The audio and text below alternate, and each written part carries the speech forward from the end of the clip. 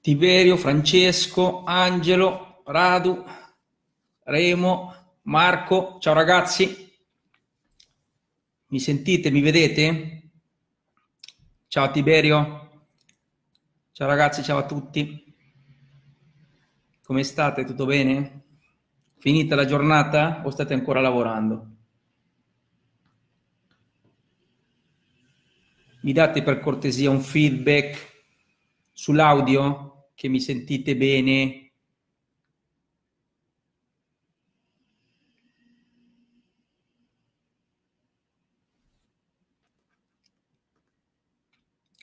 Si vede, si sente perfettamente. Ok, allora, ieri ho fatto una diretta nella quale dicevo che eh, ho concluso un paio di operazioni questa settimana, un paio di operazioni che di fatto erano un po' di tempo che le stavo seguendo. E infatti vi dicevo che non, cioè ve l'ho detto proprio perché secondo me erano piene di spunti. E oggi ho deciso di fare questa diretta per spiegarvi la prima operazione, quindi come sono andato a concluderla. Ci sono delle cose molto interessanti che una persona dovrebbe sapere per quanto riguarda quest, questa tipologia di tecniche, ok? Allora, dovete sapere ragazzi che molto spesso voi farete delle proposte d'acquisto, vi diranno di no e molto spesso successivamente ci saranno delle cose che magari voi non sapete tali per le quali potrebbe essere che la proposta poi successivamente viene accettata o quantomeno viene presa in considerazione. Ora, il mio modello operativo prevede che quando io vado a fare una proposta, se questa proposta viene bocciata, io chiaramente cerco di martellare su tutti i fianchi il venditore, quindi cercare di portare comunque a casa l'operazione, quindi parto sicuramente con delle proposte che sono a volte non proprio vantaggiose per il proprietario, in maniera tale di poi andare a trattare su determinati punti e cercare di portare a casa l'operazione. Quando non ci riesco, quindi quando ci ho messo tutte le mie forze e vedo che non riesco a chiuderla, che cosa faccio? Se vedo che non è un portone chiuso completamente, e quindi questa cosa non capita praticamente mai, tranne magari quella volta, una volta magari su cento, in cui proprio tu vedi il portone in faccia che ti dicono non ne voglio sapere e quindi a quel punto cestino la pratica. Ma di solito noi abbiamo praticamente delle cartelle di tutte le pratiche che non sono andate a buon fine, che sono comunque un bel po', e ci segniamo di chiamare queste persone o comunque le agenzie entro X mesi. Questo perché? Perché quando voi farete una determinata proposta, magari il cliente in quel momento non è maturo. Probabilmente il proprietario in quel momento non è predisposto a fare un grosso sconto, soprattutto se l'immobile è da poco tempo sul mercato. E quindi potrebbe darsi anche che vi dica di no, ma successivamente si renda conto che ci sono delle problematiche tali per le quali deve magari vendere anche in fretta, quindi parliamo anche dei don't wanters, e a quel punto per lui voi siete sicuramente una persona che riesce a ritirare l'immobile molto velocemente e quindi potrebbe pensarci, quindi quantomeno potrebbe pensare a quello che voi avete offerto e magari cercando poi di capire, di venirvi incontro, riuscite a chiudere la transazione.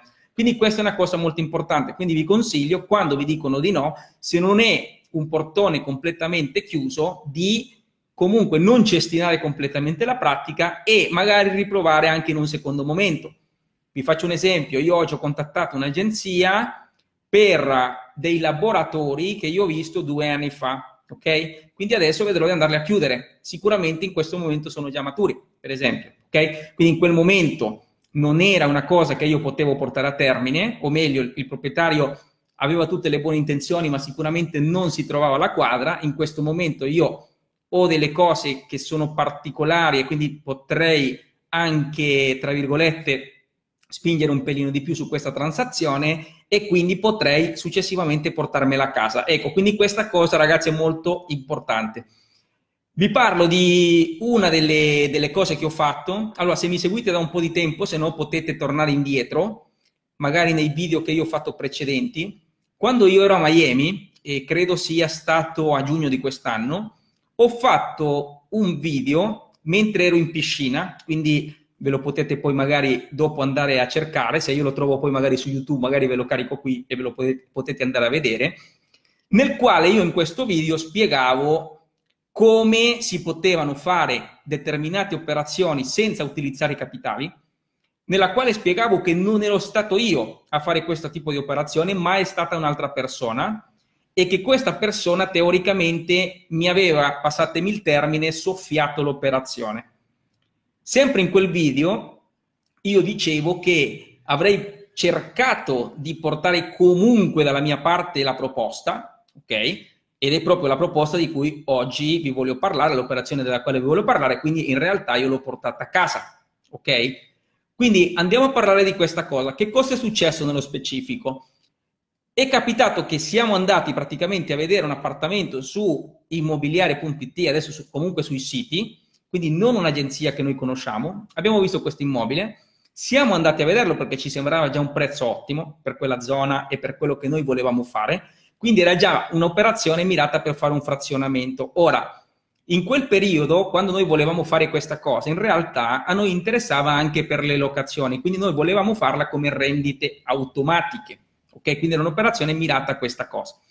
Ora, poi magari successivamente vi farò una diretta nella quale vi spiego per quale motivo io investo alcune volte sul trading immobiliare, altre volte sulle rendite automatiche e perché molto spesso queste cose possono andare bene, quindi perché io a volte faccio il doppio piano economico e solo successivamente decido che cosa fare, ok? Quindi in questo caso, per esempio, io ancora ad oggi, vi dico la verità, non ho deciso che cosa fare con questo immobile.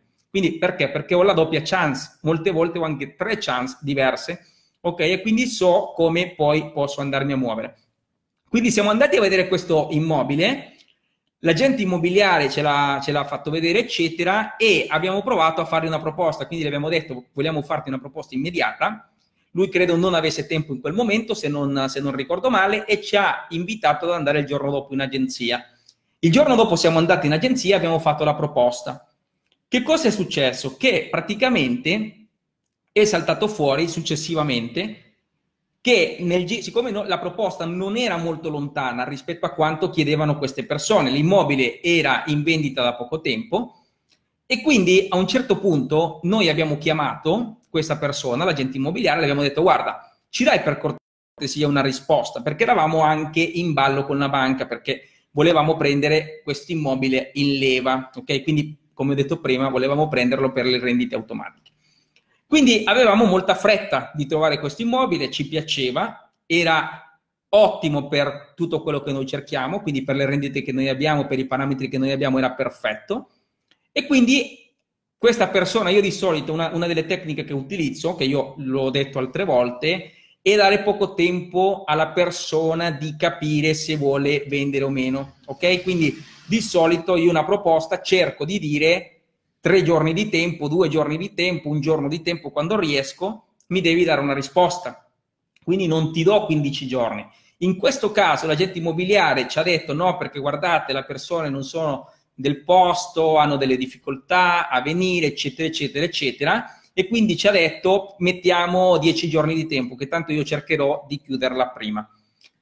Sono passati 6 o 7 giorni e noi abbiamo detto, cioè chiamiamoli perché c'è qualcosa che non quadra. La proposta è molto vicina. Perché ci mettono così tanto? Cioè ero convinto di portarmela a casa. Allora, quando abbiamo messo alle strette, tra virgolette, l'agente immobiliare, l'agente immobiliare ha chiamato queste persone e il figlio praticamente di queste persone, sono due, due signori, marito e moglie, gli ha confidato che loro avevano accettato un'altra proposta, cioè praticamente loro hanno fatto una cosa di questo tipo.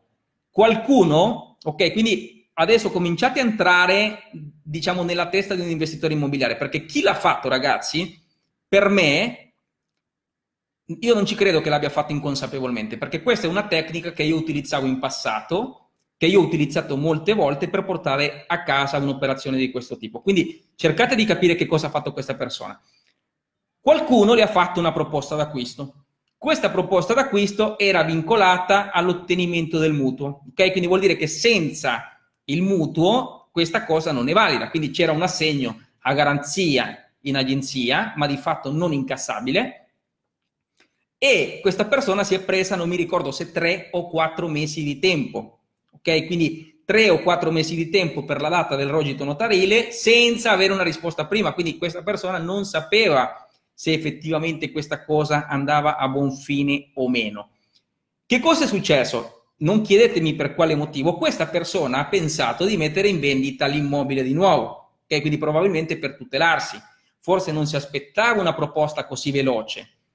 Non l'hanno fatto in malafede, quindi questo ve lo posso dire tranquillamente. Non sono delle persone che l'hanno fatto in malafede. Quindi, detto questo, l'hanno messo in vendita con un'altra agenzia, quindi con l'agenzia che l'ha fatto vedere a me. Questa agenzia non sapeva nulla, e chiaramente l'ha messo in pubblicità, noi abbiamo fatto la proposta e quindi loro le l'hanno dovuto dire. Chiaramente l'agente immobiliare si è un po' incazzato per quello che le hanno detto e non sapeva come chiaramente sistemare la situazione. Tanto è vero che il figlio le ha detto guarda, i miei genitori non ti rispondono al telefono perché di fatto non sanno come dirtelo, perché sanno che hanno fatto fondamentalmente dei pasticci, no? Allora, eh, noi abbiamo parlato con la gente, ci ha detto questa cosa e quindi non sapevamo che cosa fare. Quindi abbiamo detto, vabbè, saltata la, la trattativa, questa persona probabilmente l'ha portata a casa. Ma ci siamo ricordati che avevamo visto questo immobile anche con un'altra agenzia, cioè non era pubblicizzato solo da quell'agenzia. Eddie ha guardato quell'annuncio e mi fa, ma questo non è, non è l'agenzia di e mi ha detto il nome di questa persona, persona che io conosco molto bene, e le ho detto sì. E quindi siamo andati a parlare con queste persone per capire che cosa ci fosse sotto. Ok? Ora ragazzi, vi chiedo la cortesia di non chiedermi come ho fatto, però abbiamo fatto saltare la trattativa, ok? Abbiamo fatto saltare tutta la, l'operazione di, di, questa persona e sono riuscito a portarmela, a portarmela a casa, che è quello che io avevo detto nel video mentre ero a Miami ok? Che ho detto, vedrò se riesco a farla saltare. Non chiedetemi come, l'ho fatta saltare.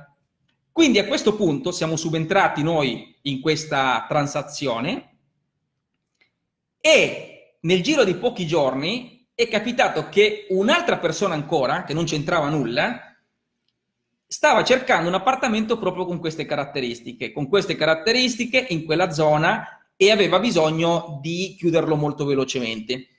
Questa persona ci ha offerto dei soldi, fondamentalmente, ok? Abbiamo accettato perché per noi era un'operazione senza soldi, non avevamo met- messo ancora dei, dei, dei, capitali e proprio questo è, è, è la tipologia di operazione che si chiude senza soldi. Ora, esattamente quello che ha fatto questa persona, questo ragazzo, per andare, per tornare indietro, è quello che io facevo qualche tempo fa, cioè qualche anno fa si prende del tempo, si condiziona come ha fatto questa persona e poi si vende a un terzo. Poi magari non si guadagna tantissimo perché probabilmente non riesce a ristrutturare per tante motivazioni, ma tu a volte riesci a vendere anche direttamente la proposta, quindi neanche fare una cessione di preliminare, ma fare una cessione di proposta. Ok? Quindi non vi sto dicendo ragazzi che è facile, attenzione, io non vi dirò mai che è facile, che è semplice, non vi sto dicendo questo. Bisogna sicuramente avere il sangue freddo, bisogna sicuramente saper trattare, bisogna sicuramente saper mettere le clausole, cioè bisogna sicuramente sapere molte cose. Morale, ho ceduto l'operazione, in cambio chiaramente di, dei soldi fondamentalmente, io ho detto vado a cercarmene un'altra, ok? Che cosa è successo? Che l'altro giorno ho saputo che la persona che mi ha comprato l'operazione doveva fare un'operazione come la mia fondamentalmente, quindi è andato in banca, aveva il, il mutuo già approvato e doveva intestarsi l'immobile.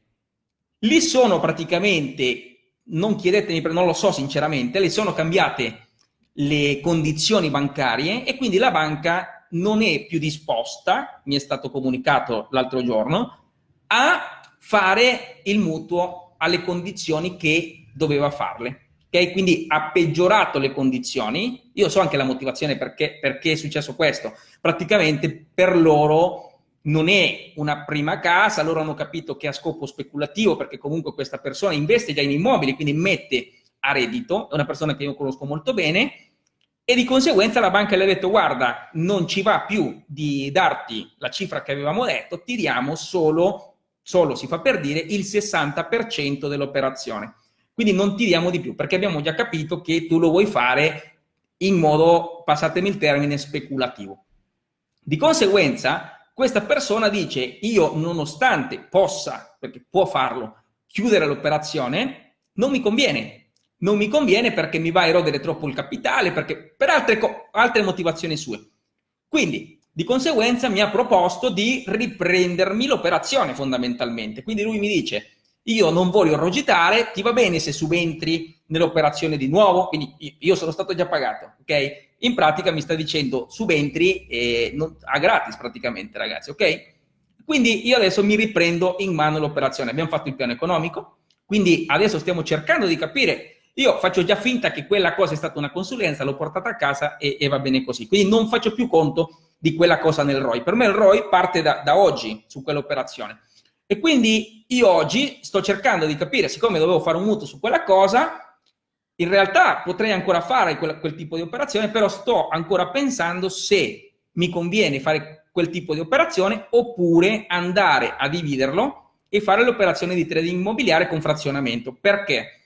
Perché di fatto, ragazzi, io su questa cosa siamo andati a parlare ieri con l'agenzia che in questo momento c'entra e praticamente loro parleranno adesso a breve perché poi scade proprio in questi giorni e mi sembra il, 15 forse il 15 o il 16 scadeva la data definitiva quindi bisogna andare all'atto e chiaramente per me ho già fatto il piano economico e mi rende poco più del 22% se la faccio con intestazione quindi in qualche mese non è male oppure supera il 30%, il 33, 34, 35, adesso non ricordo, se la faccio in cessione di preliminare, ok? Quindi anche saldando l'immobile e via dicendo.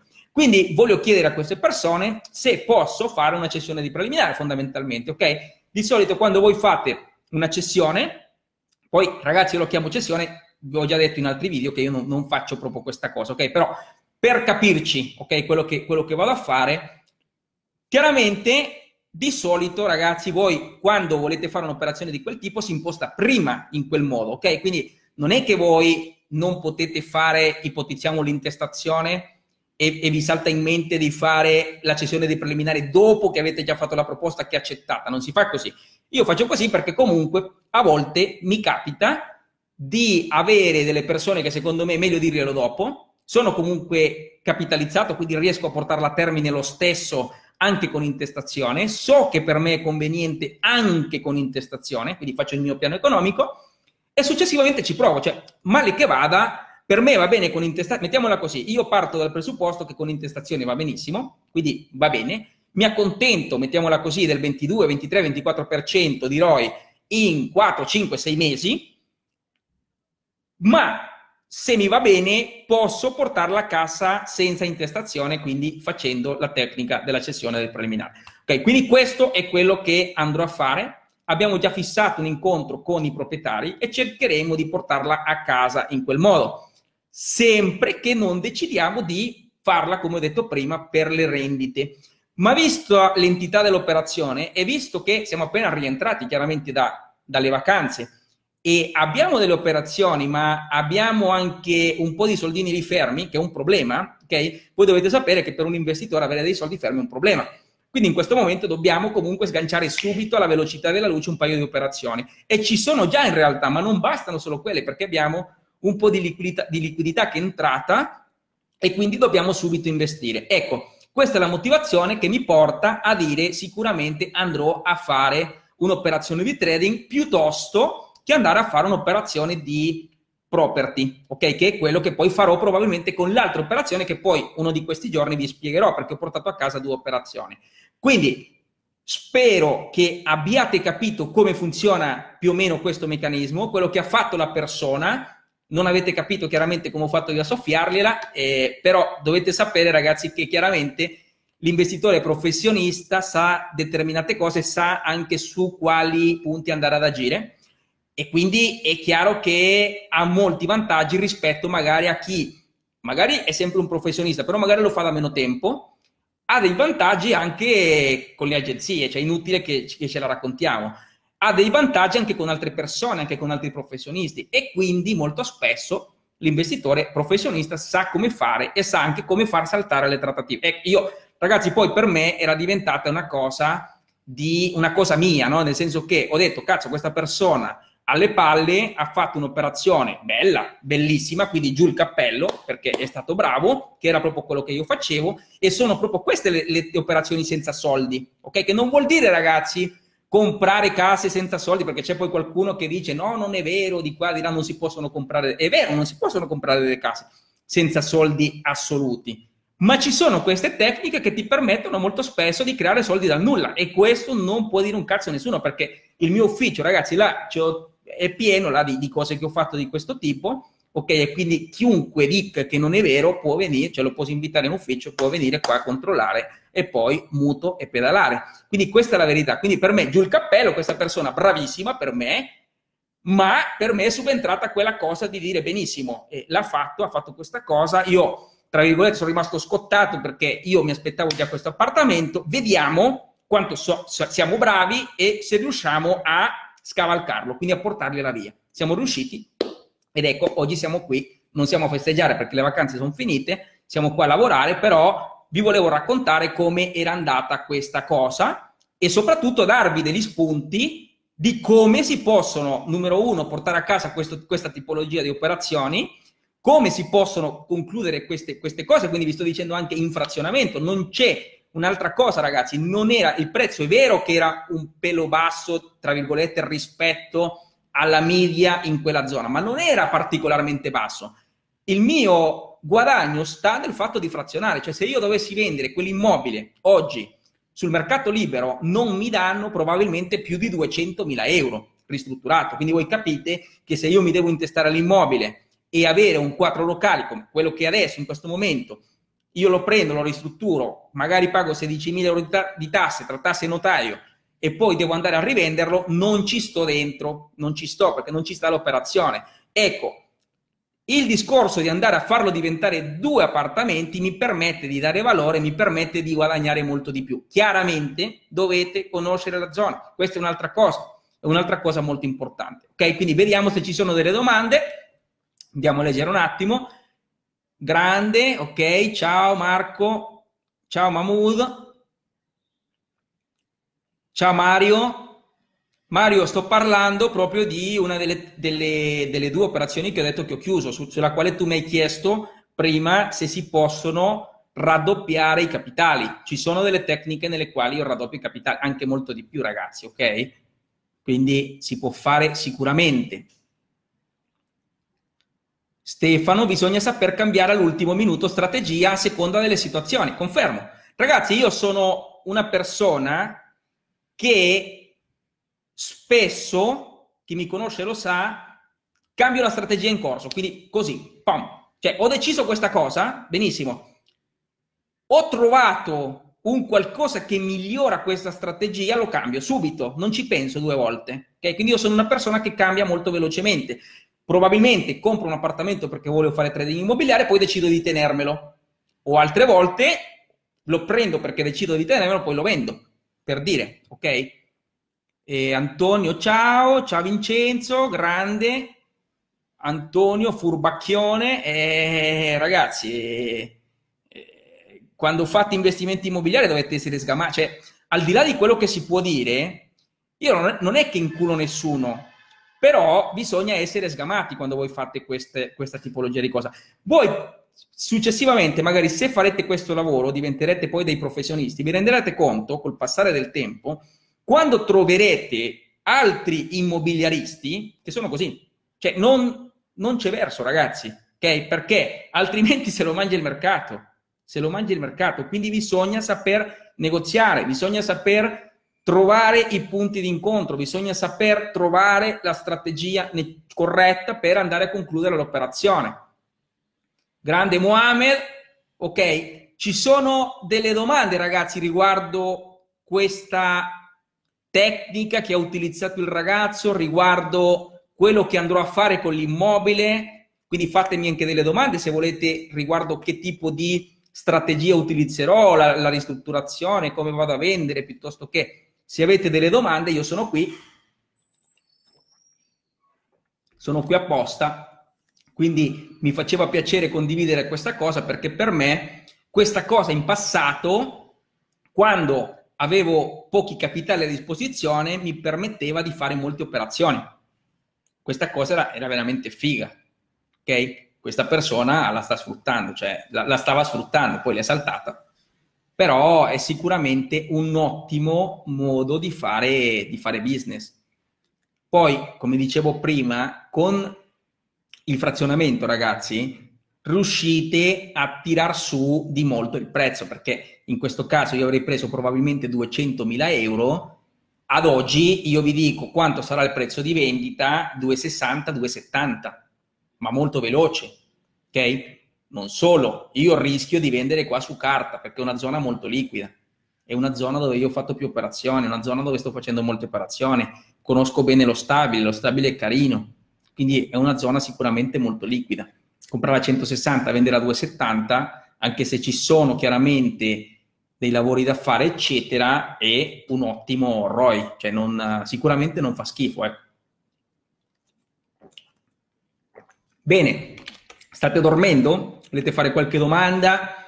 Non mi volete sfruttare? Bravi, non mi volete sfruttare? Tra l'altro oggi ho avuto una giornata un po' incasinata, ho fatto un po' di incontri, un po' di cose non sono andato neanche in un cantiere, non ci sono riuscito.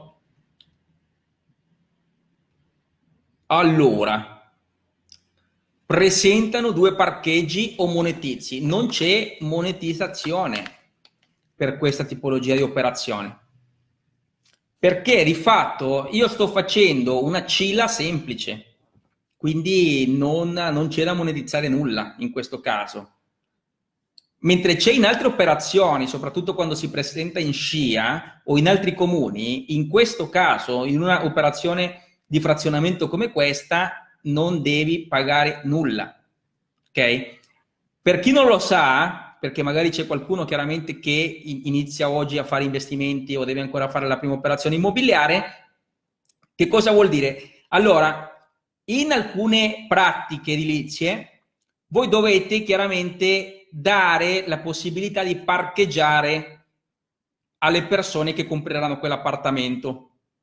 Quindi il comune vi dice dovete avere un parcheggio per quegli alloggi. Quindi ipotizziamo, se, se questo, non è questo il caso, ma se fosse così, il comune mi direbbe hai bisogno di due posti auto che devono essere segnalati, eccetera, che devono essere o all'interno o all'esterno, cioè l'importante è che ci siano. Se non ce li hai, mi dice il comune, ok, per qualcuno qua che, che mi ha detto furbacchione, anzi, sempre Antonio me l'ha detto, e chiaramente sto scherzando, il comune, che loro sì che sono furbi, mi dice, benissimo William, non ce l'hai, facciamo finta che ce l'hai, ok? Basta che mi paghi. Quindi il monetizzare, il comune in pratica mi dice, a Milano, poi non so in altri posti se costa la stessa cifra, io l'ho fatto adesso sto facendo un'operazione di cambio di destinazione d'uso con frazionamento, 5 appartamenti, sono 5.000 euro per ogni parcheggio, per ogni posto auto. Quindi il comune mi dice, in, in quell'operazione, ad esempio, mi ha detto, bene, hai bisogno di 5 posti auto. E io ho detto, caro comune, non ce li ho. E il comune mi dice, bene Ciccio, facciamo finta che ce li hai. Ok, dammi 5.000 euro per ciascuno e siamo a posto così. 25.000 euro e l'abbiamo chiusa. In questo caso non c'è. Però per chi non sa che cosa vuol dire monetizzare, vuol dire questo. Ok? Allora, confermo che il frazionamento semplice non prevede oneri. Fantastico. Ok? Quindi è così. E ciao William, dopo aver ristrutturato e frazionato, vendi subito o fai locazione? Se sì, per quanto tempo solitamente? Questa operazione ho al 99% già deciso che faccio l'operazione di trading immobiliare. Quindi la strategia è questa. Intanto mi muovo subito per cercare di fare l'operazione in cessione di preliminare o simili, ok? Quindi ho già fissato un appuntamento in agenzia con i proprietari in maniera tale che gli voglio spiegare perché voglio fare in questo modo. Quindi chiaramente anche lì ragazzi, cioè, si parla a volte di un'ora e mezza di trattativa, due ore, ok?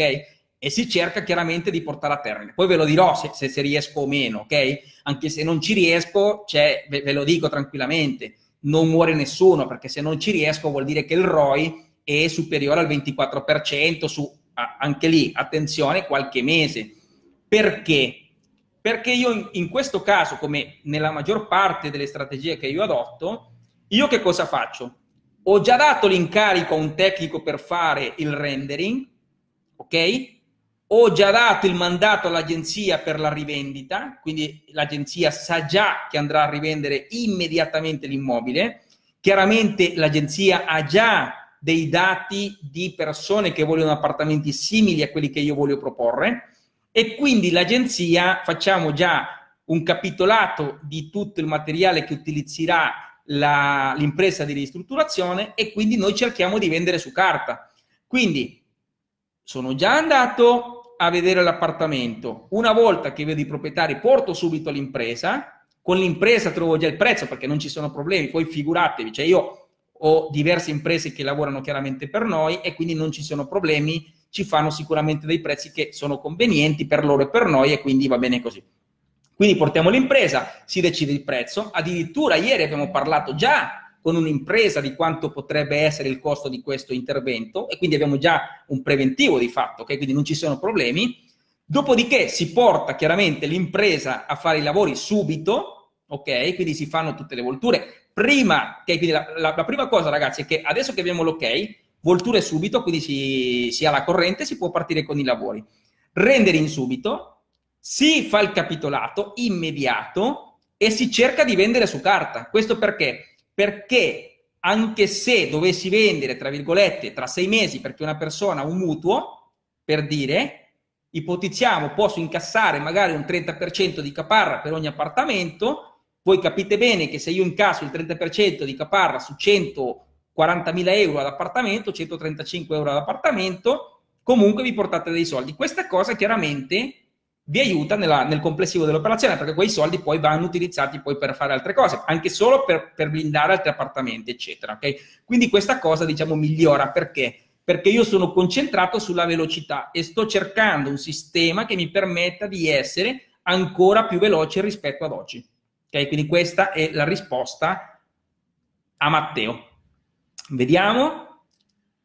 Antonio 6.000 a Venezia, ecco 5.000 si paga per la monetizzazione a Milano, 6.000 euro a Venezia. Per questo io dico sempre, numero uno, ogni città è diversa, ogni città chiaramente ha il suo regolamento, eccetera. E chiaramente ragazzi, anche se sapete come si fa una determinata cosa, io per esempio nel corso che farò con soldi, quindi da 100.000 euro in su, insegno anche come si fa un cambio di destinazione d'uso, un frazionamento, ma chiaramente dico, ragazzi, queste cose sono le basi, poi tu non puoi fare queste cose senza un tecnico. Quindi è il tecnico quello che ti deve portare alla pratica, è il tecnico quello che ti deve dire se ci sono degli oneri da pagare, se ci sono tante cose da pagare. Quindi è chiaro che ogni città, come vedete, è diversa il piano economico è diverso ed è il tecnico quello che poi deve vedere se questa cosa è fattibile, quanto vi costerà, eccetera. Quindi questa è una cosa importante. Cioè io sono chiaramente un investitore, so come si fa, quindi questa cosa mi permetterebbe, volendo, anche di andare a Venezia, per dire, ok? Con la consapevolezza che le leggi a Venezia sono diverse rispetto a quelle di Milano. Quindi io la prima cosa che farei è cercare un architetto, un geometra bravo a Venezia che sa fare queste cose. Dopodiché vado con lui, vi faccio spiegare le cose minime, che almeno non gli devo rompere le palle ogni volta, e successivamente chiaramente gli do il lavoro da fare. Ecco, così si fa. Con le utenze come ti comporti? Le... Faccio le volture subito. Chiedo la possibilità al proprietario di poter fare le, le volture, chiedendo la possibilità di fare la cessione. Chiaramente chiedo anche la possibilità di avere ovviamente le chiavi, faccio i lavori e quindi chiedo anche la possibilità di poter volturare prima le utenze. Faccio la voltura delle utenze, se sono staccate chiaramente faccio l'attivazione del contatore e basta. Il gas, per esempio, se c'è già il contatore del gas, non faccio nulla, lo lascio così. Sarà poi compito della persona che va a comprare, se non lo devo spostare chiaramente. Se invece devo richiederlo, parto subito con la richiesta anche del contatore del gas, perché spesso a Milano questo vuol dire un mese, un mese e mezzo, due mesi di tempo con una rete. Non è una cosa molto veloce, ok? Eh, ciao Isabella. sto parlando di un'operazione che sto portando a casa, che avevo portato a casa a giugno, l'ho ceduta, mi è tornata indietro e adesso praticamente la devo fare io e, e prevedo di farlo in sessione di preliminare o quantomeno ci proverò, altrimenti la farò con intestazione. Con intestazione c'è poco più del 22% di, di ROI su, sull'operazione, quindi non su base annua, e in cessione supera il 30%. Ecco. Quindi questo è, ho chiuso questa operazione questa settimana, l'ho saputo, anche un'altra molto figa, un'operazione veramente molto bella, poi magari ve la racconto la prossima volta, e quindi sto raccontando un attimo ai ragazzi come si possono anche portare a casa delle operazioni senza utilizzare i capitali. Io ragazzi ho utilizzato capitali in questa operazione, all'inizio no, perché poi come ho detto l'ho ceduta subito e quindi non c'è, stata, non c'è stato bisogno. Però questo è un modo per fare delle operazioni senza soldi fondamentalmente. Ok? Vediamo come fai con eh, scarico del bagno in caso di frazionamento. Devi cercare le colonne, quindi ti porti l'impresa, ti porti l'architetto che fa tutte le verifiche del caso. Però di solito vi dico, io, io non ho mai trovato dei problemi, cioè non ho mai trovato dei problemi veramente grossi che non mi permettono di farlo. E io vi posso assicurare che in appartamenti che non sono neanche tanto grandi porto anche dentro molti bagni. Ok? Quindi diciamo che chiaramente esperienza questa cosa a me mi aiuta, l'impresa chiaramente lo fa da anni, gli architetti e, i geometri trovano sempre la soluzione. Ciao Mario, ok, ciao ragazzi, allora se avete bisogno di farmi delle domande, poi per chi lo guarda in differita, chiaramente io faccio la diretta, potete farmele direttamente qui e io appena ho la possibilità vi rispondo. Quindi avete altre domande, ragazzi, che altrimenti vi comincio a salutare? Queste tecniche, ragazzi, sono, sono veramente ottime. Vi permettono di fare dei risultati di un certo tipo. Consiglio dei testi particolari per chi non ha esperienza e vuole iniziare nel settore? Purtroppo no, eh, nel senso che non Guarda, non, non, credo, almeno ad oggi, io non ho letto niente di particolare in Italia. In Italia, io cioè, leggo chiaramente i testi italiani riguardo il settore immobiliare, quindi parlando, en- entrare diciamo ad approfondire l'argomento. Non conosco purtroppo nessuno, nessun libro da poterti consigliare, eccetera. Quello che invece ti posso dire è che le tecniche si possono imparare, devi chiaramente cercare di credere che sia possibile. Quindi questa è la prima cosa. Ad esempio, io sto dicendo in questo momento, questo è il modo per poterlo fare anche in assenza di capitali, quindi capire anche il punto di partenza per chi parte senza capitali e da lì imparare come si fa, da chi lo, da chi lo fa chiaramente.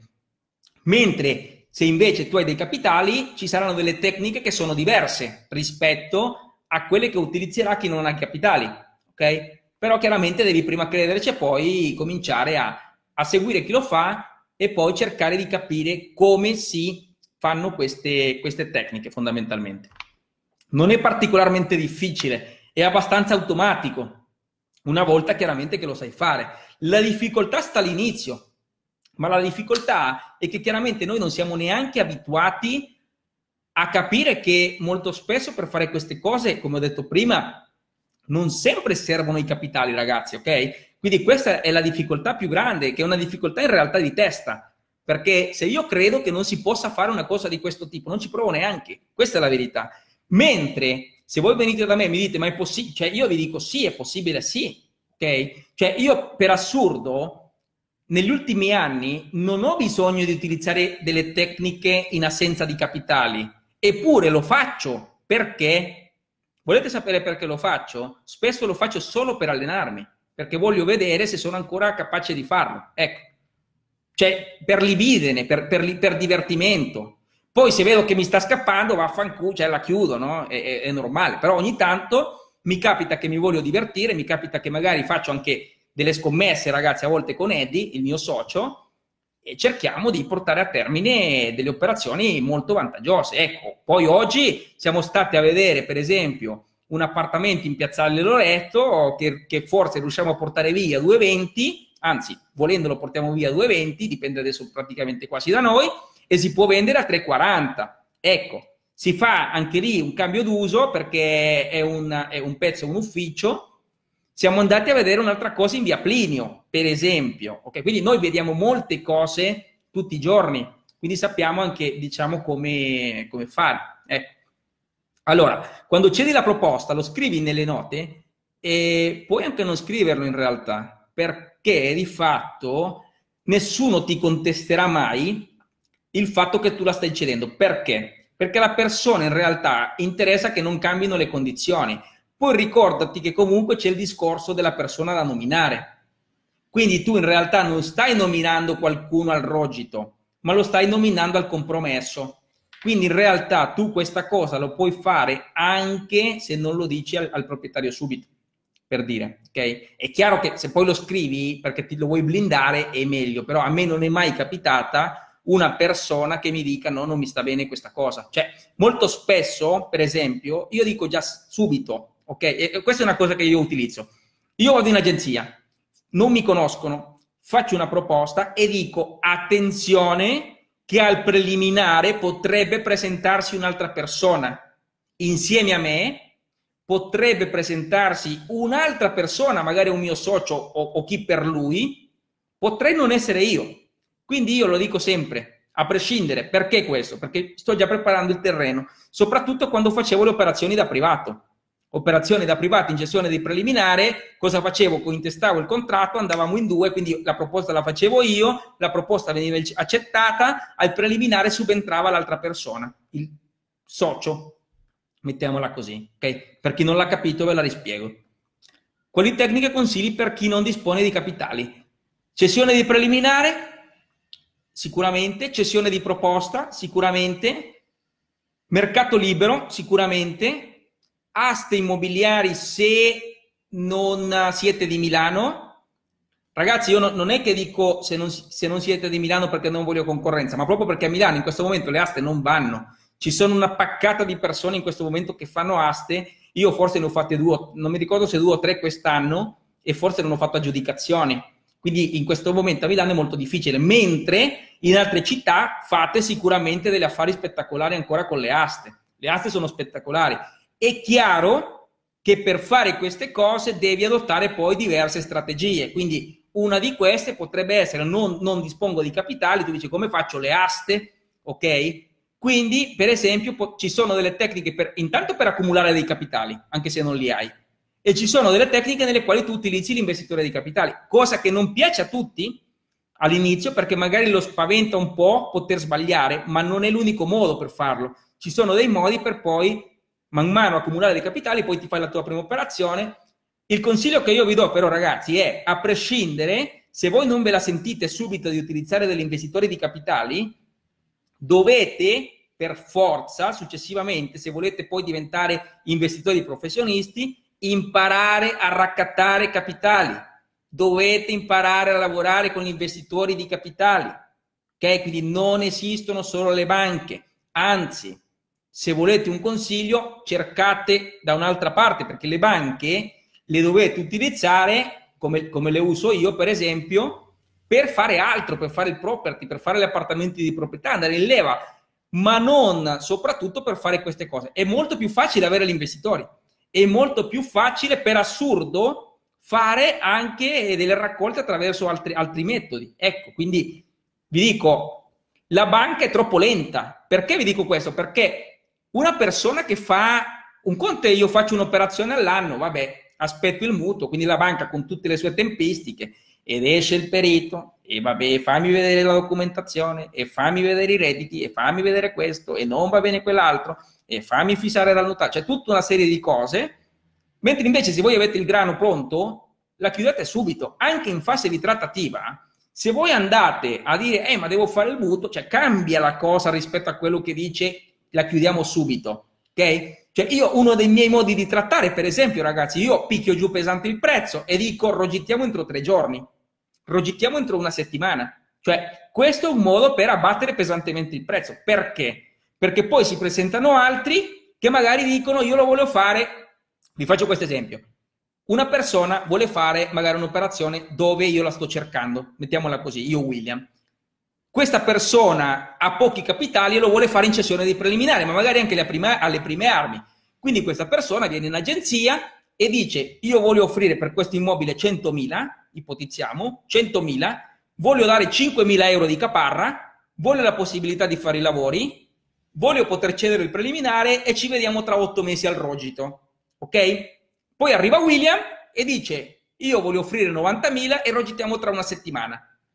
Se la persona ha bisogno di soldi, prende 90.000, ok? Quindi questa cosa, io non, non vi voglio dire che è facile, ok? Non, no, non è questo il mio mestiere, non vi voglio dire che è facile. Quindi vi dico che rispetto, rispetto a chi i capitali li ha, non ha importanza che siano suoi o di terzi, chi parte senza capitali ha uno svantaggio da quel punto di vista. Ha uno svantaggio, cioè è inutile negarlo, ha uno svantaggio, si deve fare il culo di più si deve palestrare di più. Ma questa cosa sul lungo periodo, vi assicuro che se chi fa le operazioni con capitali propri, quindi io magari ho 300.000 euro, che sono miei, non ho mai pensato a prendere dei capitali di terzi, quindi io faccio investimenti solo con i miei 300.000. Arriva un altro che non ha soldi, impara tutte queste tecniche, comincia a fare raccolte di denaro anche con investimenti di capitali, dopo un po' mi fa il culo. Cioè, ve lo dico, ve lo dico. Quindi da un punto di vista, da un certo punto di vista, è vero che chi parte senza capitali ha un grosso svantaggio nei confronti di chi li ha, ma è altrettanto vero che questa persona è per forza di cose deve imparare a utilizzare poi successivamente i capitali di terzi, che siano banche, finanziari, crowdfunding, investitori, non importa, questa persona farà il culo a chi i soldi li ha. Quindi, cioè, segnatevi questa cosa, perché non potrete mai fare tante operazioni se i capitali non li avete. Perché se io ho messo i miei capitali, anche se ho un milione di euro, io li metto in una, due, tre operazioni. Sì, ma poi ho finito, sono inchiodato lì. Sono inchiodato, non faccio più un cazzo dopo, eh? Non faccio più nulla. Quindi questa cosa vi deve far riflettere. Questa cosa è importante, bisogna, magari, ripeto, per chi non se la sente all'inizio, non sto dicendo che lo deve fare per forza, ma successivamente deve imparare a raccogliere capitali. È importantissimo. Io questa cosa la faccio in parallelo, ragazzi, ok? Voi questa cosa non la vedete, quindi ai vostri occhi non è evidente, ma è chiaro che se io faccio così tante operazioni ho bisogno anche di tanti capitali, cioè ho bisogno anche dei capitali, ok? che siano miei, una parte, ma non sono tutti miei. Quindi ci sono delle tecniche che io chiaramente adotto per utilizzare dei capitali e averli a disposizione per fare tutte queste operazioni. Infatti, io che cosa ho detto prima? Io in questo momento devo per forza di cose trovare due operazioni nel giro di una settimana perché ho dei capitali fermi e mi girano le palle. Quindi ve lo dico tranquillamente a tutti gli investitori avere i capitali fermi gli girano i coglioni. Quindi dovete saperlo perché se volete fare questo lavoro capiterà anche a voi. Sto provando a fare una cessione di proposta lampo. Se mi va bene facciamo il botto. Grande, grandissimo, grandissimo. Ok, faccio il tifo per voi e quindi ragazzi aggiornatemi. Cioè se fate la cessione della proposta c'è giù il cappello, c'è proprio grandissimo. Infatti sto vincolando al mutuo la cessione di proposte, non volevo aggiungere altro nelle note. Ok. Come regolo i rapporti con gli investitori di capitali? Faccio un contratto. Associazione in partecipazione con l'investitore di capitale. La banca vuole anche mille garanzie. Certo, ragazzi, io per i primi tre anni, per i primi tre anni, io ero un libero professionista e quindi io allora, avevo due problemi ero libero professionista e io prima di imparare tutto quello che riguarda la libertà finanziaria ero convinto che fare, diciamo, dei debiti fosse sempre un male. Quindi per me avere dei debiti non esisteva, quindi io non avevo mai fatto un euro di debito. compravo tutto in contanti, ok? Quindi cose piccole, ok? Chiaramente mi compravo, cioè io all'epoca avevo avuto magari una moto, motorino, una, una, macchina usata, quindi io risparmiavo e piuttosto mi compravo le cose, ma non, non avevo mai comprato niente a rate. Questa cosa, per assurdo, è stato un male, perché quando io poi mi sono presentato in banca, io ero sconosciuto alle banche, quindi non avevo un rating bancario. Quindi le banche nei primi tre anni, oltre ad essere chiaramente libero professionista, mi davano calci, voi sapete dove, ok? Quindi non potevo lavorare con le banche. Questo chiaramente per me è stato all'inizio uno svantaggio. Qualcuno invece ha la possibilità di farlo. Chi ha la possibilità di, la possibilità di farlo, io gli consiglio di utilizzare la leva, ok?